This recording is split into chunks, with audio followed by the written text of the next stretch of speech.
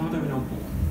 Eh, el corazón, eh, producto de este proceso de metamorfosis, producto de estos cambios que se producen en, esta, en este proceso, eh, los renacuajos van a modificar, van a variar su número de cavidades cardíacas, van a tener ellos un corazón bicameral que los relaciona, los acerca más a lo que es un pez, a un corazón tricameral de los adultos, que es eh, claramente una adaptación a esta vida también eh, terrestre, con un corazón algo más potente, algo más desarrollado para eh, suministrar el oxígeno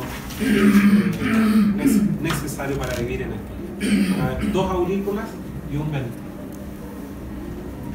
Bueno, aquí nada muy sofisticado, más allá de la presencia, eh, y hago hincapié en esto, de este eh, sistema circulatorio cutáneo que va a ser vital para estos organismos, toda vez que los pulmones, por tener una conformación bastante simple, ser literalmente un saco, eh, sin muchos divertículos internos, sin una complejidad, con, un, con una gran superficie para realizar el intercambio gaseoso, este sistema circulatorio cutáneo va a tener lo mismo que la mucosa bucal, va a tener eh, la eh, tarea de complementar eh, de manera importante el intercambio gaseoso en los anfibios. Esta situación de estos pulmones con este desarrollo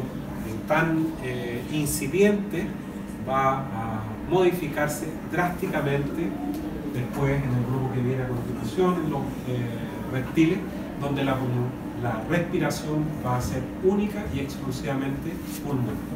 Va a desaparecer este sistema circulatorio cutáneo y va a desaparecer el intercambio gaseoso a través de la mucosa.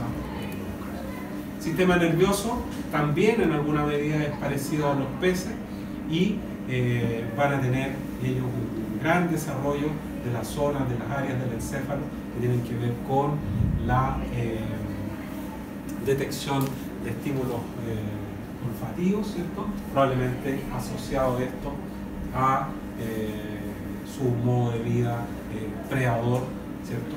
Hay algún desarrollo que tiene que ver con esto. Producto de algo mayor de complejidad también respecto de el procesamiento de información, el desarrollo y complejidad que van alcanzando los órganos de los sentidos, eh, la coordinación eh, de una serie de otros eh, estímulos, los hemisferios cerebrales adquieren una complejidad algo mayor si lo comparamos con los peces, ¿cierto?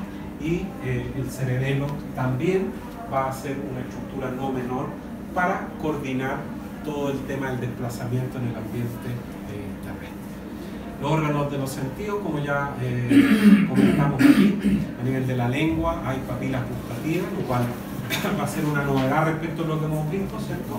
Va a haber una detección respecto de eh, ciertos sabores, por llamarlo de allí, de alguna manera. Y tal vez lo más relevante, más allá de lo usual que hay, es la aparición del órgano de Jacobson o vómero nasal, que eh, va a ser incipiente el desarrollo va a haber cierto eh, funcionamiento de él, pero eh, el desarrollo más complejo del órgano de Jacobson o vómero nasal va a ser inmediatamente en el grupo que viene a continuación, es decir, en los reptiles, donde, como ya eh, mencioné hace un rato, la detección de estímulos gracias a, este órgano de Jacobson va a ser relevante.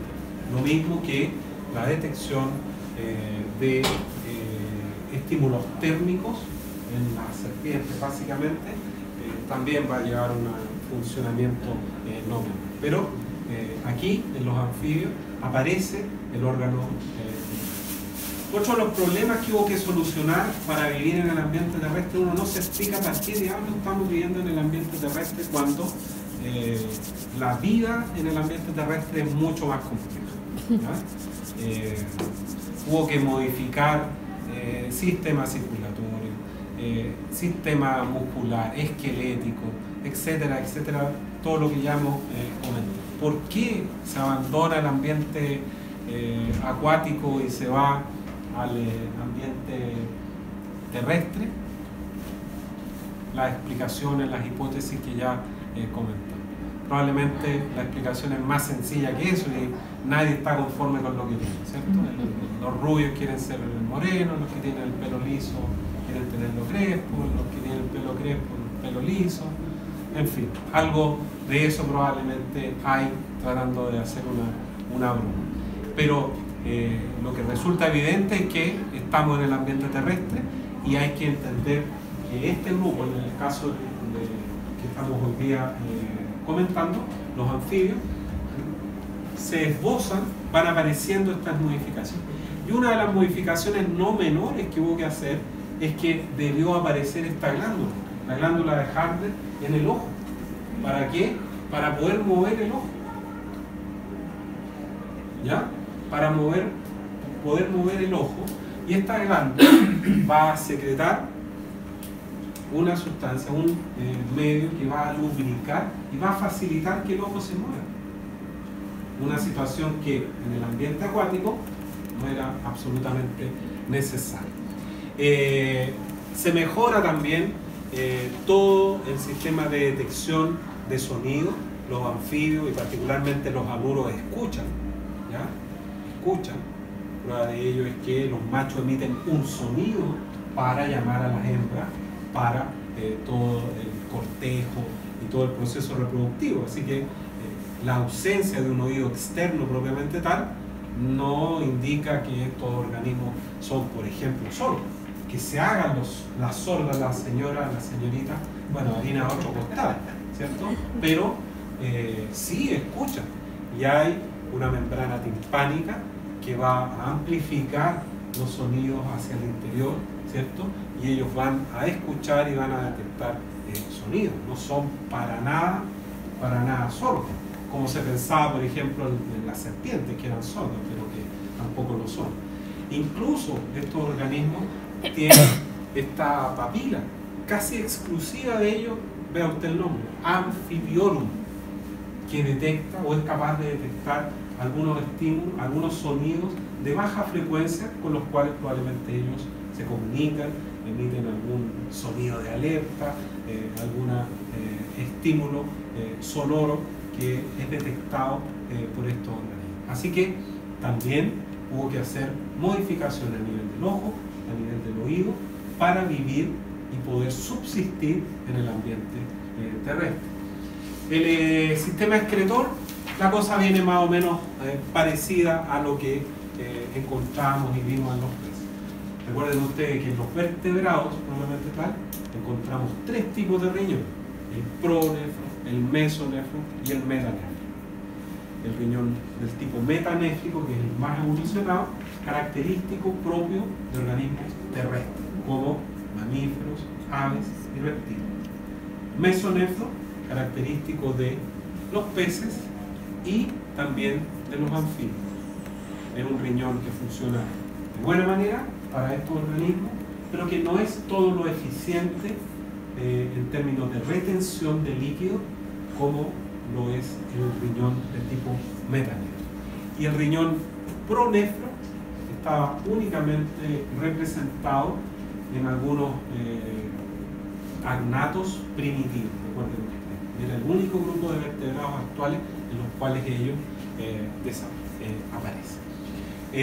los uréteres van a desembocar, recuerden también, en la cloaca y específicamente en una zona de la cloaca que recibe el nombre de urodema. hay aparición también de una vejiga urinaria en donde eh, va a acumularse eh, la orina excretada por los, eh, los riñones mesonéfricos y esta vejiga se va a formar producto de una evaginación del piso de la cloaca. O sea, la cloaca va a servir prácticamente para varias funciones y además de ser una zona en donde se va a eliminar eh, procesos, eh, productos eh, de la excreción digestivo y también los gametos, también va a servir de alguna manera para formar, producto de una evaginación, la eh, vejiga urinaria. Eh, hay algunos anfibios con tal de optimizar y evitar al máximo la pérdida de agua que reabsorben de alguna manera eh, agua de la vejiga urinaria. Eso probablemente está representado en algunas especies en donde eh, su hábitat hay algunas carencias en cuanto a la humedad. Recuerden que los anfibios en términos generales viven asociados al agua. Parte de su ciclo biológico se desarrolla en el agua o en ambientes, en hábitats donde la eh, humedad no es un factor limitante, pero no hay que olvidar que hay algunos que son terrestres y que los estados juveniles, los renacuajos, como vamos a ver después un poco más adelante, no están en el agua propiamente tal, o están en la cavidad bucal de uno de los padres, del padre, por ejemplo, en el caso de la ranita de, Darwin, la, o bien en la espalda de algunas especies tropicales. Entonces, eh, va a ser particularmente interesante para esas especies reabsorber agua, es decir, perder la menor, la menor cantidad posible. Esto ya lo vimos, ¿cierto? Son eh, el pronefro, el mesonefro y el metanefro. Lo vamos a seguir viendo para que no se lo olvide eh, cómo son estas. Y básicamente, dicho de una manera muy simple, para poder no olvidar este, esta conformación. Son eh, los glomérulos y los nefrostomas los que están más o menos alejados, que van a hacer esta diferencia en cuanto a la eh, optimización al máximo de eh, la pérdida de Y específicamente en el metanefro, en el más evolucionado, presente en reptiles, aves y mamíferos, donde esta estructura, el nefrostoma y el glomérulo, van a estar estrechamente eh, relacionados para formar una estructura compacta y además va a aparecer el uréter que va a desembocar o eh, el urodeo de la cloaca o bien eh, de manera independiente como sucede en aquellos organismos que no tienen presencia de cloaca como la gran mayoría de los mamíferos. los sexos están separados, ¿ya? Los sexos están separados y en algunas especies y particularmente en algunas épocas del año eh, algunas características sexuales secundarias son evidentes, como por ejemplo eh, en los tritones hay eh, presencia de una cresta llamativa probablemente para las hembras que aparece, se desarrolla, se evidencia en esta época reproductiva y en algunas especies de sapos, de anuros, en la época reproductiva aparece una especie de callosidad a nivel de eh, eh, pulgar o uno de los dedos que básicamente tiene eh, la función de evitar que el macho se caiga con tanta facilidad. Porque vamos a ver después una foto. Recuerden ustedes que aquí no hay una cópula propiamente tal porque el pene como tal no apareció aún. El pene recién va a aparecer en los reptiles, es decir, en el grupo que viene. Los anfibios todavía no tienen pene, ¿ya? Entonces la fecundación es externa. Pero hay un abrazo nupcial, un amplexo. El macho se monta sobre la hembra, pero no para copular, sino que para estimular a que la hembra, con ese abrazo, ¿ya? libere eh, los gametos hacia el exterior. Una vez que eso se produce, el macho libera lo suyo y se produce la fecundación fuera del cuerpo de la hembra. Probablemente esas callosidades que aparecen en la época reproductiva en los machos, en los dedos, evita que el macho, producto de la mucosidad que tiene la hembra y el macho también para facilitar el intercambio gaseoso a través del tegumento, eh, el macho pueda sostenerse allí con una eh, mayor facilidad. Así que eh, en la gran mayoría de ellos no hay eh, dimorfismo sexual, pero sí en algunas especies. Y particularmente hay algunas especies de bufo, del género bufo, que son hermafroditas, tal como sucedió en Jurassic Park. Uno.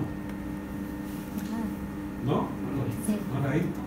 Hay que ver esas películas porque los profes de zoología siempre sacan eso, sacan esos ejemplos. Ah, Que Víctor no recuerdo bien, pero ¿qué es lo que pasó ahí? Que los gallos usaron anfibios, Sí, ADN de Ranas. rana dijeron. claro, para hacer las replicaciones del ADN de los dinosaurios. Y eh, ellos creaban solo macho o solo hembra. no Solo acuerdo. hembras. Solo hembra. Y de repente le empezaron a aparecer huevos de, de, eh, de dinosaurios.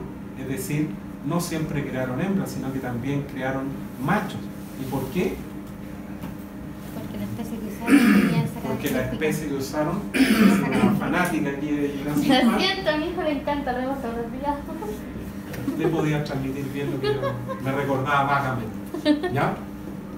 Eh, aquí está indicado este fenómeno de que se producía específicamente en los urodelos, en las salamandras, en los tritones, de retención.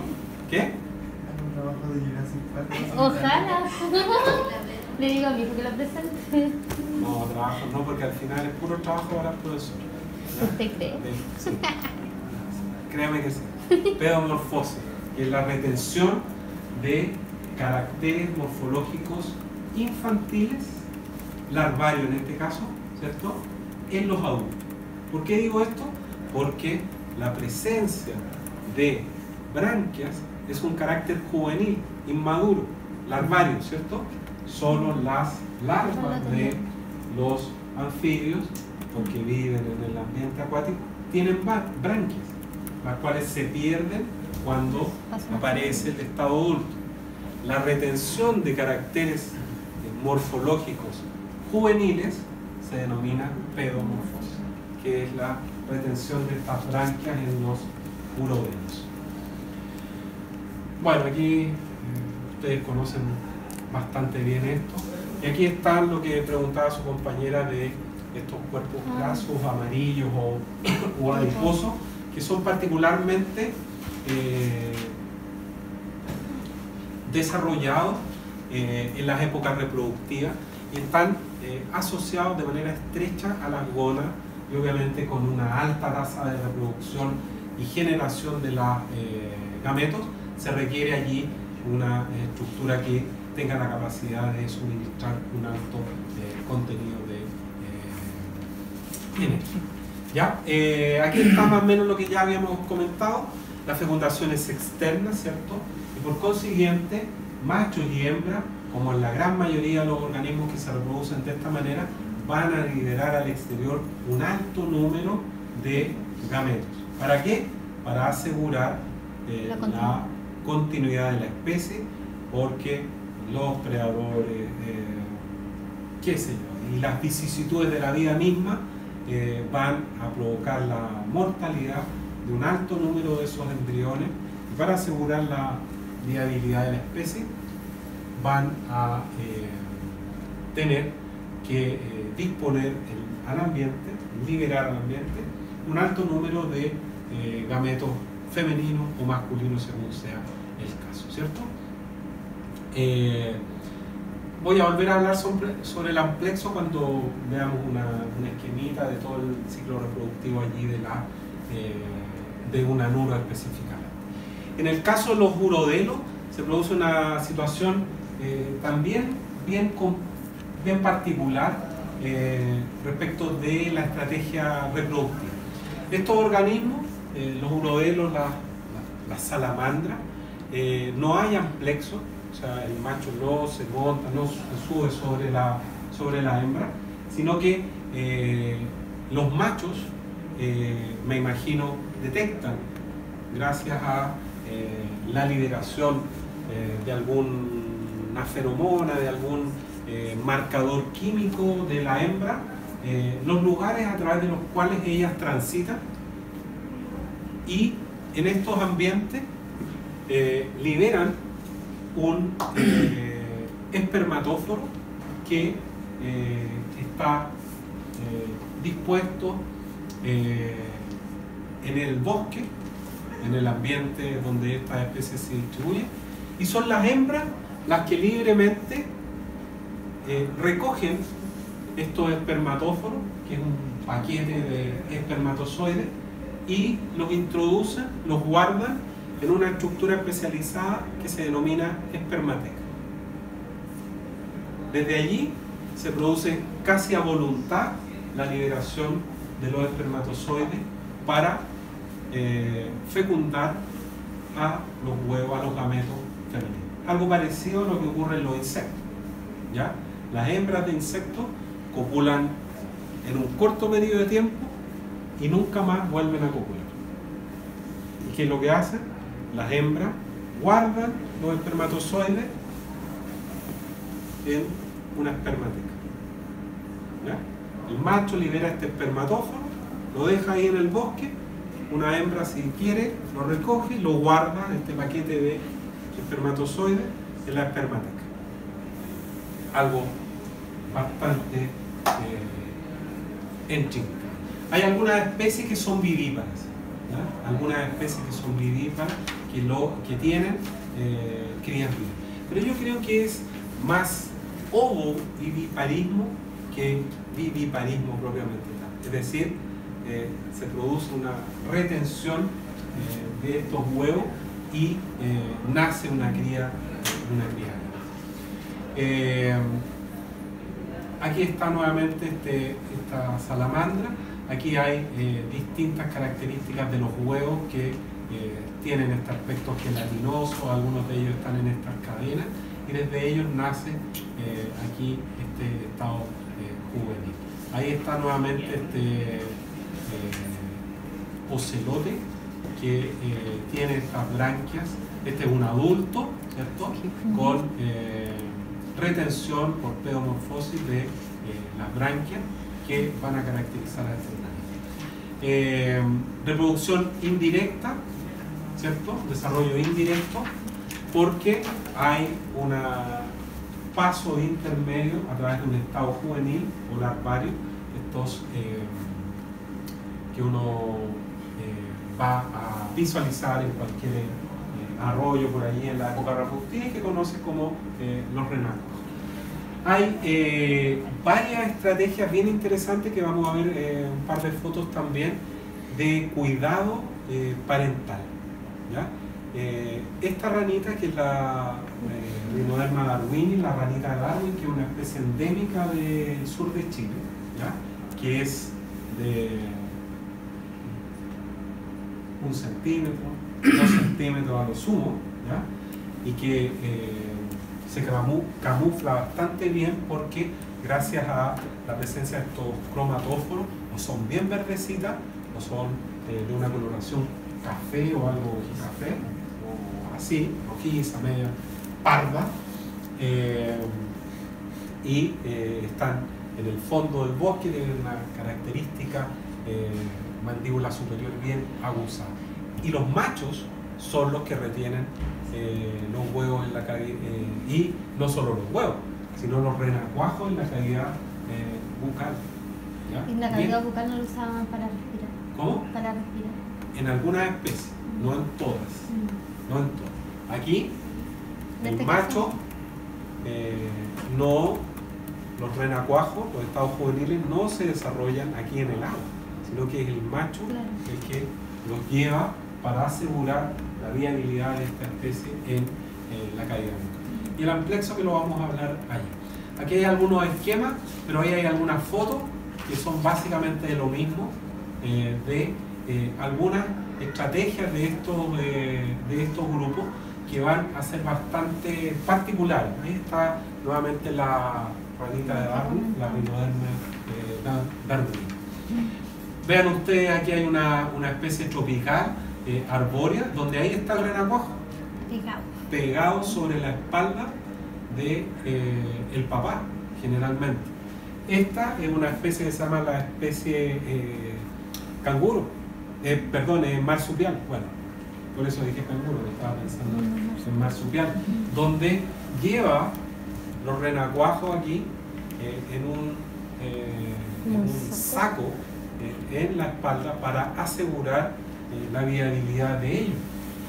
Allí vean ustedes los huevos pegados en, eh, tanto las patas como la espalda de esta estructura.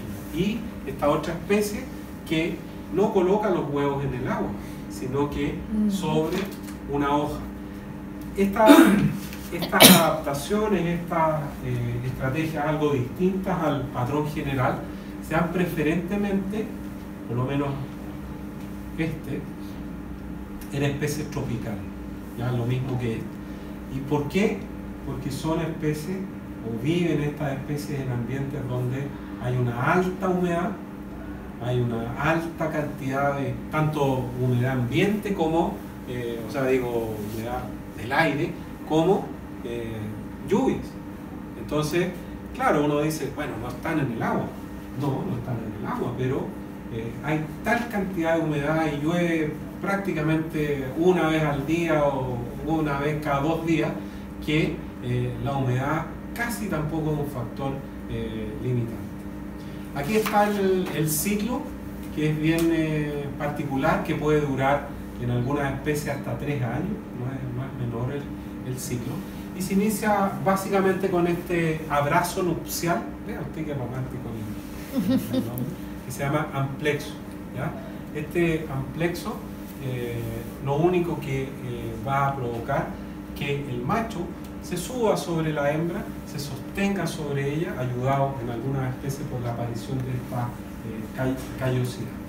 No hay eh, pene, no hay eh, una, un- una cópula propiamente tal, sino que con este amplexo se produce la estimulación para que la hembra elimine, libere al exterior de sus gametos y el macho haga lo mismo con los gametos de él. Y este huevo va a presentar y va a tener ciertas características, una amplia cobertura gelatinosa para evitar eh, o al menos compensar cuando este embrión, este huevo queda depositado en algún eh, sector donde hay eh,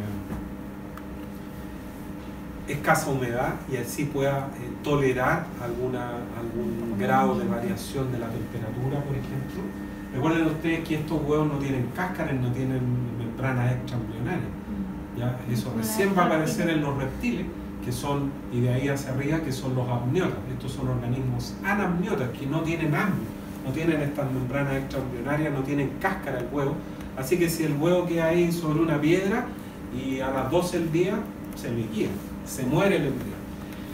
Bueno, no seamos tan trágicos, supongamos que el embrión eh, es viable y está en un ambiente que va a favorecer, que va a permitir su desarrollo y eh, el embrión, el renacuajo va a comenzar su desarrollo, va a comenzar a aparecer esta cola, progresivamente eh, se hace más evidente y una de las primeras estructuras que va a aparecer son las branquias, lo cual parece ligeramente obvio si es que hay eh, una vida en el ambiente acuático. La cola va a favorecer la, la natación. Lo primero que eh, va a aparecer aquí son las extremidades posteriores y después las extremidades anteriores.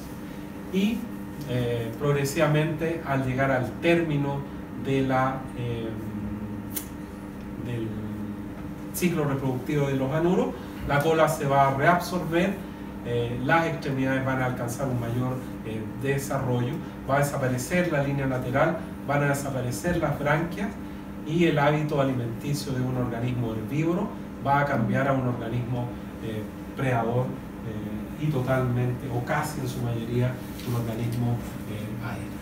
Ahí están los huevos, ¿cierto?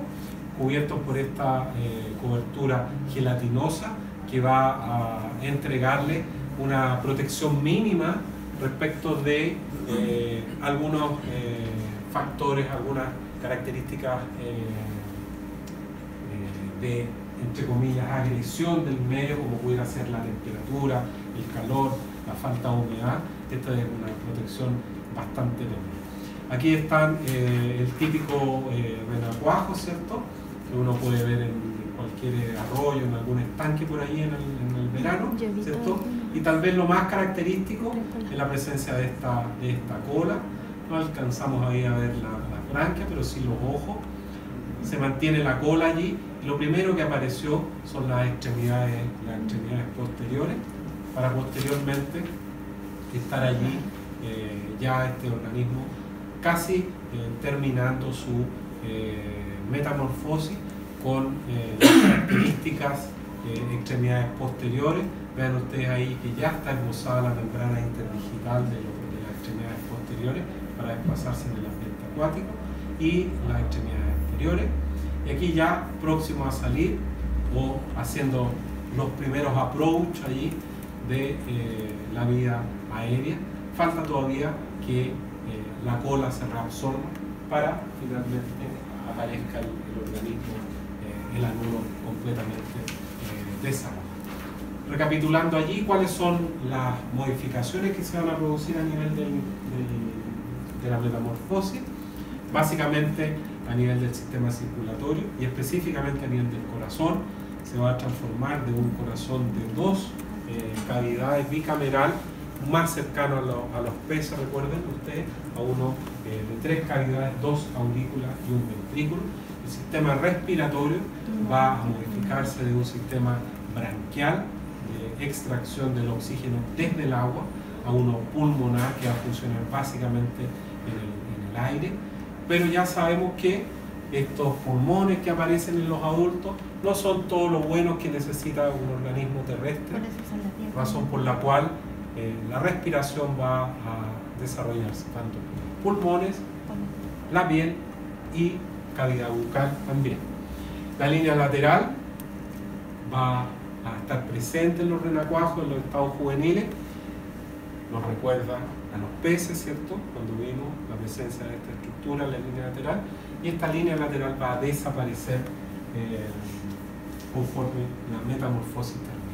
Se van a desarrollar las extremidades anteriores y posteriores que eh, van a estar eh, completamente adaptadas para desplazarse en el ambiente terrestre, pero también van a tener particularmente las posteriores la particularidad de presentar esta membrana interdigital que va a favorecer también el desplazamiento de ellas de ellos en el ambiente eh, acuático, ¿cierto?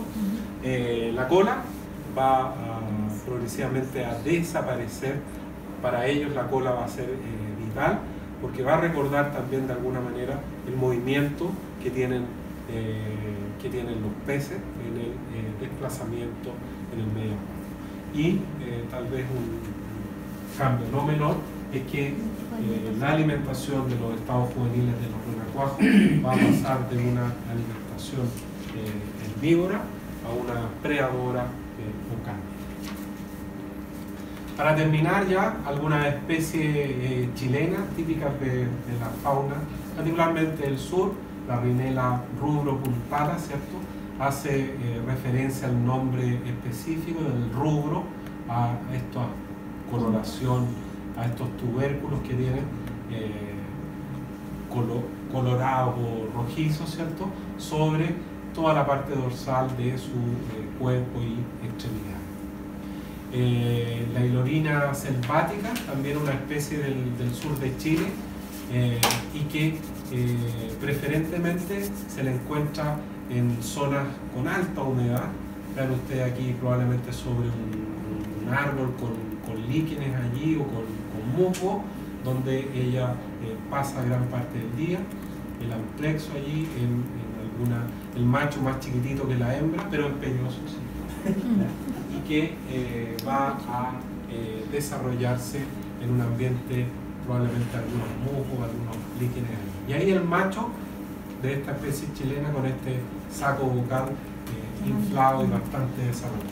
Vean acá algo que ustedes vieron ahí en el laboratorio, en la presencia o característica eh, de los anfibios y particularmente los anuros, el desarrollo de los ojos que les permite una, buena visión, una buena detección de eh, el medio ambiente. Hay que recordar que estos organismos son predadores y obviamente un buen ojo hace un, buen predador, Eh, otra especie muy bonita también del, sur de Chile con esta coloración parda o café. Eh, probablemente una especie que no tiene mucha cercanía con el agua. Vean ustedes que eh, las extremidades posteriores prácticamente carecen de esta membrana interdigital. Y la baratiquilla, también una, una especie no muy cercana al agua.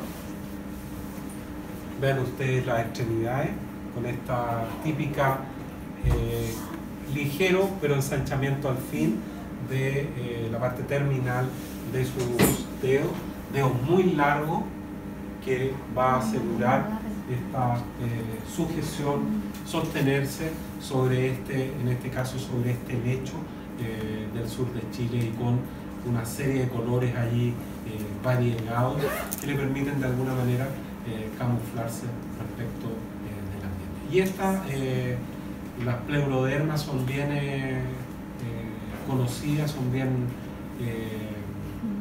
frecuentes, que son lo que se conoce en términos generales como la ranita o sapo de cuatro, de cuatro ojos, ah, que hace alusión a este particular dibujo que tienen ellos sobre el abdomen que asemeja eh, la presencia o que fuesen ojos allí, probablemente o se supone como una medida de distracción de, eh, ante un posible.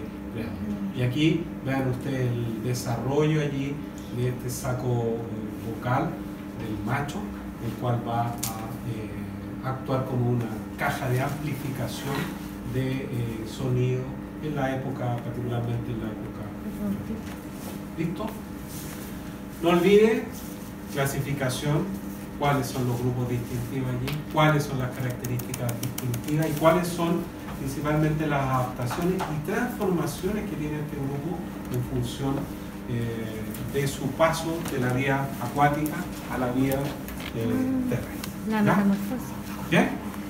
La metamorfosis que tú. Sí,